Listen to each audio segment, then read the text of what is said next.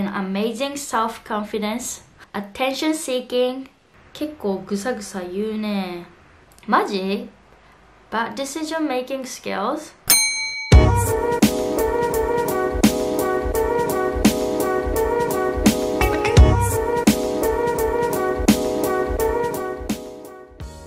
Good morning everyone, welcome back to my channel こんにちは、みゆきです今日は 星座に関する英語表現を見ていきたいと思います。でなんで今日星座の話をしようかと思ったかというとアメリカでは結構会話の中に星座の話が出てくることが多くってまあ日本の血液型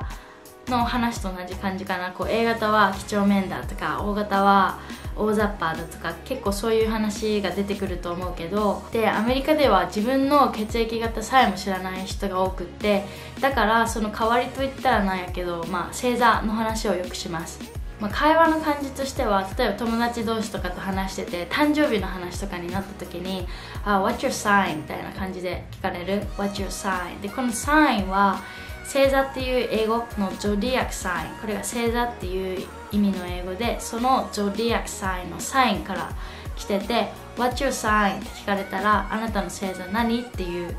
えー、質問。で答え方としては I'm an Aries. I'm an Aries. 私はお羊座です。みたいな答え方をします。でするとなんかまあ結構詳しい人とかは Oh so you're a optimistic person. みたいな感じでこう結構星座プラスその星座のこう大まかな性格の特徴みたいな話で盛り上がることが多い。なので今日は星座に関する英語表現ということで星座の名前プラスその星座の大まかなえー、性格の英語表現についても見ていこうと思います。まあ星座に関する表現を見ていきたいんですけど、まあ、12個もあるからとりあえず6個6個で分けて今日は前半の最初の6つを紹介していきたいと思います。では早速まず1つ目。はお羊座。お羊座は英語で Aries でこのお羊座の主な大まかな性格について見ていきます。ググる、uh, Aries positive traits まずお羊座のいいところからですね strong leadership in amazing self-confidence positive energy and bravery and creativity おじゃあ次は、uh, negative negative trait ネガティブなお羊座のネガティブな性格 uh, selfishness and attention seeking outburst of anger wow and lack of patience impulsive behavior 結構ぐさぐさ言うねはい2つ目のお牛座は英語で Taurus Taurus と言いますでお牛座この Taurus の性格まずお牛座のポジティブなところから logical and generous understanding and kind patient looks good で次、えー、お牛座のネガティブな性格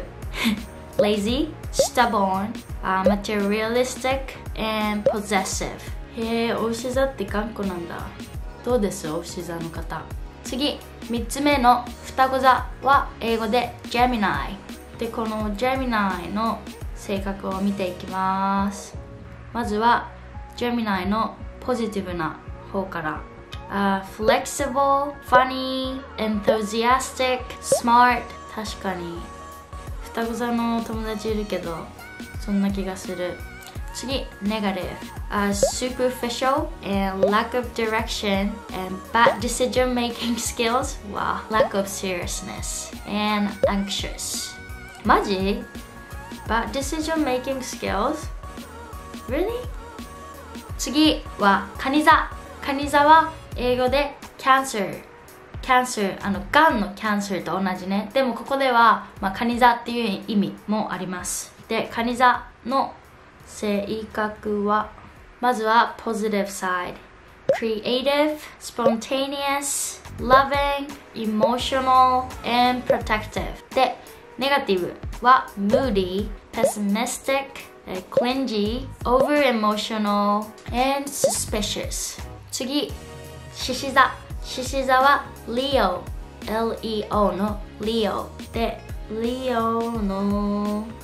traits はまずは positive から kind and supportive energetic optimistic straightforward and loyal 次 negative headstrong egoistic possessive dominating impatient and arrogant 獅子座はお羊座とちょっと似てますね見てると面白いはい6つ目は乙女座乙女座は英語で Virgo V から単語が始まるからちょっと発音が難しいけど Virgo って言ったらまあ日本語でカタカナ英語だと Virgo かなでは Virgo の性格を見ていきましょうまずはポジティブから intelligent, practical, analytical, reliable, and modest で次ネガティブ、uh, overcritical, and fussy, fastidious, harsh, conservative, and judgmental うんそうかな。私のバーゴの友達こんな感じじゃないけどな。はいというわけで今日は6つまず最初の6つ星座の英語表現ご紹介しました、えー次のビデオではもう6つ紹介していきたいと思います。まあ私結構星座のこういう表現表現っていうかその星座占いとか結構好きで、まあ、週に1回ぐらいは絶対チェックしてるんですけどまあ知っとくだけで、まあ、信じるか信じないかは別として知っとくだけで結構友達とかその新しく会った人とかのその会話のネタになるので知っといても